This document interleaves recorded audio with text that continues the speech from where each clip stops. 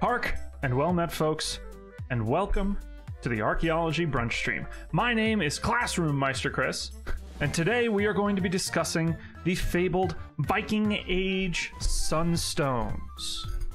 Products of myth and legend, or something more legitimate? Something that we'll discover today. I've been looking into the Sunstone situation for the past week or so. I started to make a couple TikToks about it, and I was waiting for cloudy days to work out where I would be able to actually go out and practically try and use the Sunstone. Um, and I just haven't had the chance. Like it's been, you know, wonky weather and timing and everything like that. But I, I finally managed to try and practically use some of these things. So I want to be able to sit down and get all of these ideas out. Um, because the findings are kind of curious. But we'll take a look through what people have said about Sunstone so far, basically the findings that other people have gotten, and uh, uh, all sorts of things. Professor Rune is in session. That's right. It's the archaeology brunch stream, and we're talking about brain stuff, so I have to be Mr. Nerd today. Speaking of big brain, I already just remembered that I left the rock upstairs. I left the sunstone upstairs, so I'm gonna have to run and grab it at one point. All right, folks, listen, we know the deal. It's that part of the video where I come on here and I tell you to subscribe to my channel. And I know it's the annoying part of the video that nobody wants to watch, but here it is. The analytics don't lie, and everybody says that you gotta subscribe and you gotta push those subscriptions. So I'm doing my part. Let's have you guys do yours. Subscribe to the channel. Please. So, Viking Age Sunstones, right? They are something which uh, has grown very popular in kind of modern media and modern interpretations and portrayals of what Vikings were doing and what the what the Viking Age kind of looked like. I think a lot of people, when you say the Viking Sunstone, they kind of have a general idea of what you're talking about. You know, small rock that when you hold it up, uh, it helps you find where the sun is but I think that the ideas of how you find these sunstones, like how you find this stuff and and where you how you use it, um, maybe doesn't meet quite the expectations that people have. So what we're going to do is we're going to look uh, through a couple things. I have a bunch of stuff primed up. All right. We're going to look at a video that just kind of gives a, a, big overview over what the Sunstone is. It's a pretty good video. Uh, then we're going to go through piece by piece. We're going to discuss uh, what the Sunstone's uh, use is in sagas and myths, like where it shows up in those.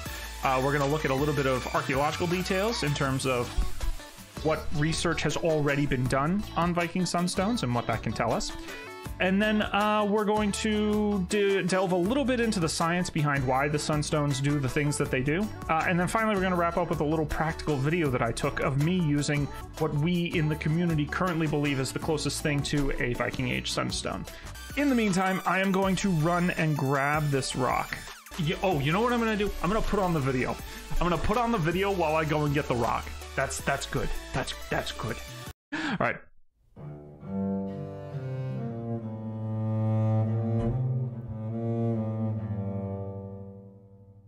Between the 8th and the 11th centuries, the Vikings were perhaps the most skilled and successful navigators in the world.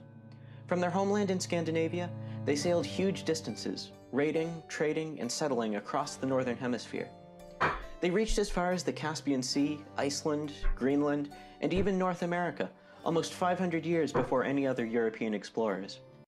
There has been a lot of really exciting new research and, research and stuff coming out about how far and how quickly the Vikings got to different areas across the northern Atlantic and the and the Arctic Sea and everything like that. And somehow they managed to do this using only simple navigational tools. No magnetic compasses, no sextants, only the sun and stars. One of the tricks that Viking navigators had up their sleeves was the ability to find the sun, even when it was below the horizon or behind cloud cover, using something called a sunstone. The use of the sunstone was first written down in the Icelandic legend Rauðúlfs þáttr. So this is, I think, where a lot of like the magical element of these sunstones come into play. It's it's a cloud. You know, you're able to look through cloudy days and also technically sometimes they were able to do it after the sun had set over the horizon. There's theories about how they were able to do that anyway uh, because it, it involves a lot of like refracting light which we'll discuss in a little bit. And when they would when they did that they were able to pinpoint the location of the sun which which would seem magical to many people especially during that time period. It was such a curious thing and it's not mentioned in very many places. This saga is one of the few places where they actually discuss this concept. I think there's only maybe two or three mentions of the Viking Sunstone that we've been able to find. Yeah. But is this story true? The obligatory Vikings TV show reference needed to be made. Did the Vikings really have a magic stone that could let them see through the clouds or over the horizon? Maybe it was just a myth or a metaphor. Or maybe it was something like this.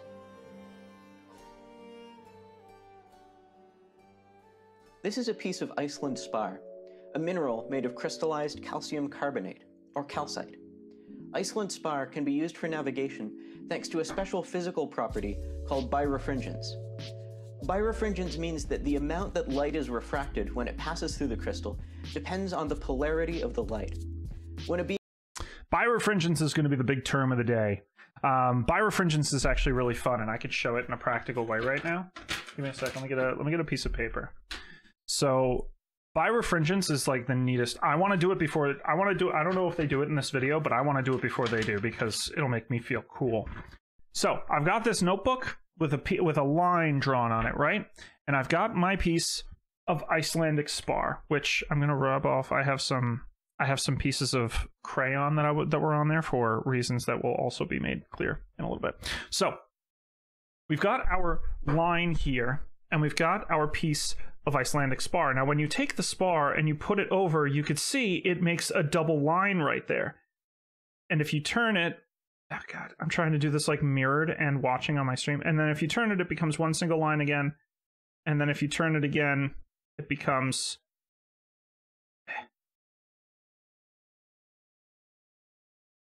two lines. So that right there, that right there is the process known as birefringence, where it's a it's a method of refracting light where it takes the light through and it kind of diverts an image into two things. That birefringence is intrinsic to the concept of how these sunstones might have been used, at least according to the more popular theory on their use. There are a couple of different possibilities that they might have done, but that is the more popular theory on how and why um, sunstones were used. It has to do with birefringence. I think they're going to talk about it right now. beam of light, like sunlight, passes through the crystal. It's split into two beams. These are called the ordinary and the extraordinary beams. You can see this by looking through the crystal. You can see that everything that's viewed through the crystal appears doubled. I just showed you that. I told you I wanted to beat him to the punch. You're an extraordinary being? Oh, Amelia, thank you. Thank you. You're all extraordinary too. You're you're my extraordinary beams. But how can this be used to find the sun?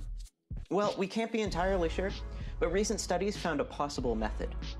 So, the, yeah, the reason why we cannot be sure how the Viking Sunstone is used is because it's never written down the methodology of how to do it. They just say you take the stone, you look through it, and you find the sun. To be fair, the saga writers, uh, they probably didn't know either. that's that's a fair point. When TV writers try to explain hacking, yes, saga writers describing the use of a Viking Age sunstone is a one to one corollary between TV writers going, "I'm in." First, a mark was drawn on the top of the crystal using pine tar or charcoal. Next, the crystal would be pointed at the brightest part of the horizon. The navigator would look up through the bottom of the crystal so that they could see two dots refracted through the stone. Mm-hmm. Then they would move the crystal along the horizon until both dots appeared equal in brightness. When this happened, the navigator would know that the front of the crystal was pointed toward the sun. So this is so this is such a tough situation because trying to figure out exactly how this thing worked was so difficult. And I have a video of it, and I'm going to show it later of me trying to do it. And it's it's it's a little it, it was a little bit of a mess. And I did have a control in the fact that I knew where the sun was. It's a difficult little process to master, and I think that part of the reason why I didn't have as much success with it was because of that. But spoilers, I'll get to that in a bit. When this method was tested under experimental conditions, it was found that with a bit of practice, this method could be used to find the sun with an accuracy of just one or two degrees, which is certainly accurate enough to be used to navigate. Yeah, one to two degrees. I've also heard one to two percent of a like oh within one to two percent of the horizon or whatever uh, is incredible. That's that's ludicrous accurate for me, at, at, least in my mind. I don't know how accurate that is in terms of like actual accuracy, like looking at it on the horizon. But to me, that sounds like it's dummy accurate. Of course, the only way to prove that Iceland Spar was the mythical sunstone would be to find physical evidence of a sunstone being used for navigation. In 2012, divers excavating a shipwreck in the English Channel found a piece of Iceland spar, the right shape and size to be used as a sunstone. The shipwreck has been dated to the late 16th century, hundreds of years after the end of the Viking Age. But it's entirely possible that through trade and exchange, Viking navigational technology was picked up by other cultures and was still being used hundreds of years after the last Viking ship sailed the North Atlantic. So that's a very important point. The only piece of sunstone, quote unquote, sunstone that has ever been found in a uh, uh, naval context was in a 16th century English ship, and it was found alongside other navigational tools, such as a traditional sextant. There has never been a piece of Icelandic spar or anything else that could be construed as a sunstone ever recovered from a Viking Age site. You're on Team Iceland Spar. I mean, Icelandic Spar is the most likely candidate. Hello! Thank you very much. Guys, the brunch part of the brunch stream has started. you got me waffle race cars? Yes! Peanut butter and chocolate filled waffle race cars. Look at the cross section. Oh, that's ooey gooey. Ooh, that's going to mess with my ability to lecture. Stop the archaeology, it's waffle time. Listen, archaeology is only 50% of the archaeology brunch stream. Those waffles are fire. Uh, where was I? Whatever. The excavation of the shipwreck is still ongoing, and maybe someday with the help of more research and new discoveries, the mystery of the Sunstone will be solved once and for all. All right, pausing for uh, content so that you guys can see the sources. This was an extremely well done video. I was very pumped when I saw this. The uh, the YouTuber who made it is named Terra Incognita. They do um, history content. So, but now getting into the uh, nitty gritty of this, as we said, the Viking Age Sunstone has been discussed in the sagas. This is primarily where we know it. The big saga is Hrafnsaga Sveinbjarnarsonar. This is kind of the one main one that discusses it the most. And the translation of it, I'm, I'm using Wikipedia, which is all right for just like a simple translation or something. This has been verified. In the Icelandic, uh, I, I could read it for the practice, but I'm probably going to butcher it, so I'm not going to. Uh, I'll just read it in English. The weather was thick and snowy, as Sigurthur had predicted. Then the king summoned Sigurthur and Dagr, Radolfur's sons to him, uh, the king made people look out and they could nowhere see a clear sky. Then he asked Sigurthur to tell where the sun was at that time. He gave a clear assertion. Then the king made him fetch the solar stone and held it up and saw where light radiated from the stone and thus directly verified Sigurthur's prediction. So that's pretty much the information that we have. He had to go get the sunstone, held it up, and saw where the light came out of the stone and and then knew the prediction. And that's that's that's the only information we have. And it's like, oh, oh, okay. Let's see what the archaeology tells us about this. This here is a potential theorized device which might have been able to be used in conjunction with a sunstone to kind of create a navigational tool. Seems a little overly complicated based on what they were talking about. I don't think this was really what they were talking about in Hrafnsaga. The direction of the sun was very important, right? And the need to determine its location was crucial in order to maintain your bearing and to keep going with what you were doing. The Vikings didn't have or have access to a lot of the same navigational tools, but they were still widely renowned as one of the best naval navigators in the medieval period at that time. And the question is, how were they able to do this? A large part of it came down to their ship construction, right? We knew that. But then another part of it really came down to what sort of things we were looking at with their navigation. The Sunstone being primarily probably the way that they made it to England and beyond with such relative accuracy. So, looking for this polarization of light, it seems like calcites or, or, or various types of calcite crystals would be the way to use birefringence to identify the sun's location. We've already seen birefringence in action from earlier tonight. So, generally talking about calcites as a group, Icelandic spar is a calcite within that group. A team led by a man named Guy Ropars. Uh, I'm probably saying his name right. Guy, Guy Roper a physicist at the University of Rennes. They took a ch- uh, chunk of calcite um, Icelandic spar, rock familiar to the Vikings, locked it within a wooden device that beams light from the sky onto the crystal through a hole and projects the double image onto a surface for comparison. So what it, what it does is they basically just created a device that adds the step in there so that you're not kind of taking it up and looking. They just kind of take whatever image is being absorbed by the light and the stone and just kind of projecting it into this box for easier viewing. They then used it over the course of a completely overcast day, and they took measurements from a point on land where they knew the sun's exact trajectory. So they knew the direction that the sun was going to go because we have a lot better technology in that sort of department nowadays. And they were able to predict where the sun was going to be, and they compared it to the evidence that they gathered using this sunstone. If the Vikings had used calcite as a sunstone, it would have enabled them to navigate on cloudy days. The research team's sunstone came within 1% of the true location of the sun, even after it had dipped below the far horizon. We're not talking about middle of the night here. We're talking about like just that moment after sunset, like twilight hours, right? That's they were still able to determine the location of the sun during that time period, which is bonkers.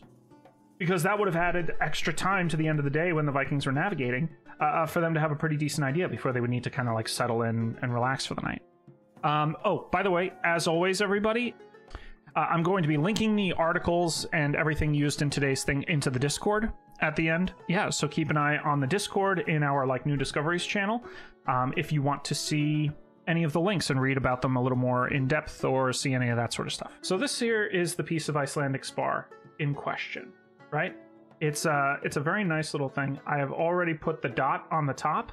It's basically just black crayon from my son, and I just I just rubbed off some of the black crayon and smushed it on there so that it would stay because that's all we have to work with.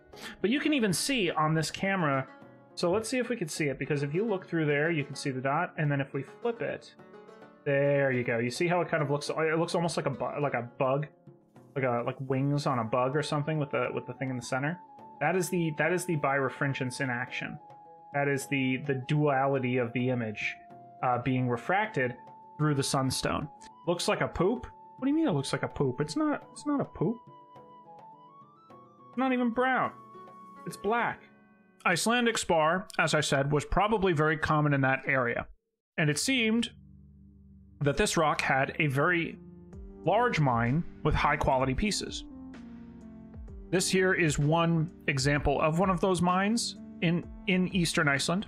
And as I said, they are largely found in Iceland, but they are not exclusive to Iceland, I don't believe. They called it a mine a mine. So this uh, mine supplied the whole of Europe with an enormous amount of transparent calcite crystals from the mid 17th century until 1975, and the mine was shut down because the remaining deposits were of such poor quality it was not considered good enough. Now, mid 17th century, for those keeping track at home, it's like a solid 400 years, 500 years after the end of the Viking Age. This obviously is not the time period where this particular mine would have been used. However, the fact that there was a mine there that lasted a couple hundred years uh, indicates that the and uh, yeah, so I think that's why most people just kind of indicate that Icelandic spar was the one that was used. That and the fact that they did have this piece of Icelandic spar that was found in the naval context on that ship out of England. And know a lot of people say, oh, it's possible that this might be a piece that was descended from Vikings who were using it in Iceland or, or people coming over from Norway or whatever. And I, I think that that is very speculative. And it's and to say that the reason why the British used Icelandic spar for navigation was solely because the Vikings used it is presumptive without more evidence showing a tie or a link there. Another source here uh, is used to describe the Icelandic spar talking more about how this theory kind of came to be made. You know, we have the we have the discussion in Hrafnsaga uh, talking about how they used it. Saying here, it wasn't until the 1960s that the concepts of Vikings using polarized light for navigation gained some weight. So let's take a look at the video that I had of me trying to do this. That in that direction, which is where the Wait, why is the vid not showing? What the heck? It could be a copyright fail state or something because I'm trying to stream a video. That's so bonkers. That would be a that would be pretty insane. But I mean, it would make sense that that would be what it is, which is really annoying because it's my video. Okay, buckle up, folks. This is going to be the jankiest thing I've ever done on stream. I've done a lot of janky things on my stream, right? And get ready for this. This is going to be so funny. I'm I am excited. Now, apparently, the theory behind this is that you're supposed to take the two dots that you see via the birefringence, and you're supposed to angle the, the, the spar until they both appear to have the same luminosity or darkness to them. Now, uh, it does seem to do that in that direction, which is where the sun was before the clouds rolled in. But I, I noticed that you do have similar densities to the light when you angle it in other directions as well. It's not always super dark, and maybe that's the indicator, but I, I'm not entirely convinced. Now, checking it on the short side uh, of the of the spar, it, it kind of has similar results, although it's a lot more fuzzy, a lot harder to tell. So I'm wondering whether or not the piece that I have is just too small to do the task. It's possible that I might need something a little bit bigger in order to do it accurately, uh, or I just maybe don't know what I'm doing, having never done this before. You guys can see the results that I had were spotty um, I was noticing that the Icelandic spar image, like I was getting similar darknesses to them when I was looking in different directions across the sky. And so I'm not sure whether or not it was a case of like it needed to be angled, like if I had to look at it through an angle going in there, or it, it's just all of the instructions that I'm reading online are very difficult to pinpoint. Like, I'm not sure where I'm supposed to be looking. I'm not sure how high in the sky I'm supposed to be looking. I'm not sure what angle I'm supposed to be holding it at. And I think that the Vikings would have had a much more streamlined educational system on something like that to the point where they probably didn't need to explain it because it was just going to be a simple situation of like, you know, oh, my ship swain, Bragi, told me that, you know, you hold the Icelandic spar this way and you look at it that way you know it, it was uh, viking society was very word of mouth in terms of how they passed down their stories and their legends. Uh, they wouldn't have had this written down you know they wouldn't have had any kind of record for it. It literally would have just been like a bunch of guys who knew each other passing this message down through time as you know you were working on ships. It was very word of mouth. Without having that sort of instructional process written out for us we're working kind of blind so uh, I would imagine that the difficulties that I was having come largely from a inexperience with using it. Uh, B, uh, based on the size of the sunstone that was found in that British ship that we found, it was easily like maybe three times the size. It looked like a piece that was maybe more like this. Well, three times at least three times the size. at least three times the size. The question I think comes down to does my uh, inability to replicate the experiment mean that Icelandic spar was not used as a sunstone? No, it doesn't. Experiments are meant to be kind of tried multiple different ways, and I think that me doing it and having a little bit of difficulty doesn't necessarily rule out the fact that these were used. Um, however, I think that it does raise those questions of what sort of practical knowledge did people trying to use sunstones need to have in order to operate them? Is there a process by which they were learning this? Was it just kind of practical on the job? Did it require a lot of practice? Is there like a simple trick that's hiding in there somewhere? Because I'm not the only one who's had trouble with stuff like this. I was watching YouTube videos and other things of people trying to do it, and a couple people were coming out saying, "Oh, well, this theory is bunk because like you know we weren't able to determine the location of this anyway, and it doesn't matter where you looked in the sky before you're getting this." It, was just like um, it, it was it was very wishy washy on some people, but I think that that really just comes down to user error. Navigate the Icelandic seas using this one weird trick. Cartographers hate him. GPS manufacturers don't want you to know this one life hack. but apart from that, I do think that the tool probably has something to play in this because this is a this is a small piece, and even when we were dealing with this, I had like you know that that dot on there that looked to be about the size of the dot that they were using on the other pieces, but the birefringence coming through that object.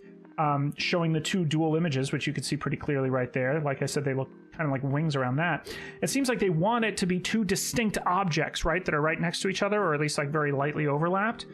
And I think that maybe having a bigger one would help clarify that picture a little bit better. Kind of like how if you have a bigger telescope, you could see farther away. You know, I wonder if having a bigger piece of Icelandic spar would create a more clear image uh, that would help you kind of do these things a little bit better. But yeah, guys, I mean that's that's kind of all I have to say on this subject. I, I think that the the idea of a Viking Sunstone is super interesting and, and definitely worth looking into a little bit more. But as for me, I'm gonna have to keep practicing. Yeah guys that's that's all i have in terms of in terms of the viking sunstone. I think we talked through everything. I have enough here to farm you people for a youtube video. I used you for content. Hold on hold on.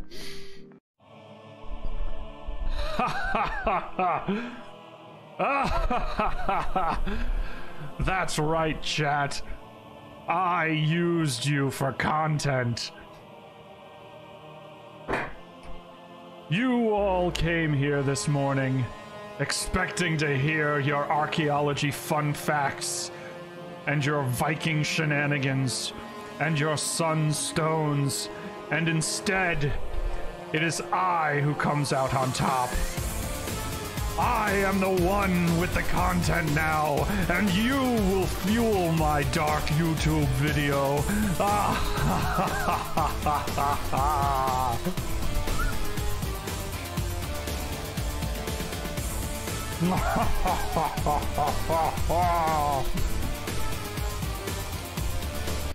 But yeah, guys, thanks for coming in. I really appreciate you all. Uh, this stream would not be anything if it wasn't for you guys, my loyal viewers, and and my wonderful mods. Uh, thank you guys so much.